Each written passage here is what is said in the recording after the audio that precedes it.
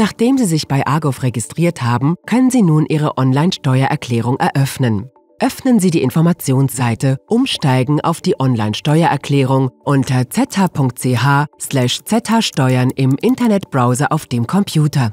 Falls Sie sich noch nicht für Argov registriert haben, sehen Sie sich unser Video Wie registriere ich mich für Argov an. Um die Steuererklärung zu eröffnen, klicken Sie auf Start. In der Kachel Jetzt Steuererklärung mit Argov eröffnen. Sie befinden sich nun auf der Startseite der Online-Steuererklärung. Klicken Sie dort auf Anwendung starten, in der Kachel Vereinfachter Zugang mit Argov und anschließend auf Weiter mit Argov, um zur Anmeldeseite von Argov zu gelangen. Scannen Sie den QR-Code mit der Argov Access App, um sich einzuloggen.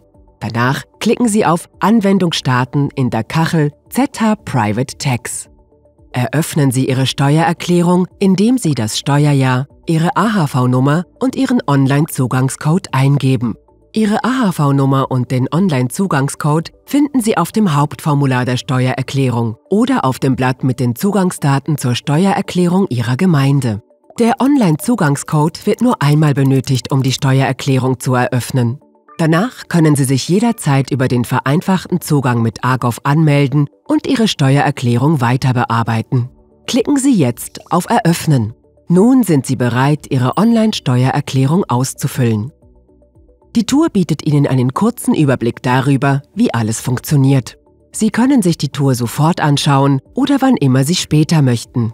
Klicken Sie einfach auf Einführung, um die Tour zu starten.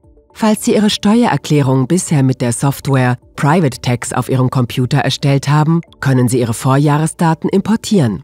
Klicken Sie hierzu auf Daten importieren und laden Sie die Datei mit der Endung PTEX23 von Ihrem Computer hoch. Ihre gespeicherten Daten werden direkt übernommen.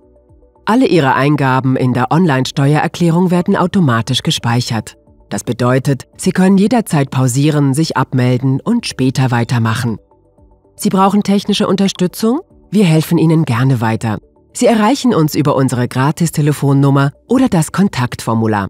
Unsere Kontaktdaten finden Sie im unteren Bereich der Informationsseite.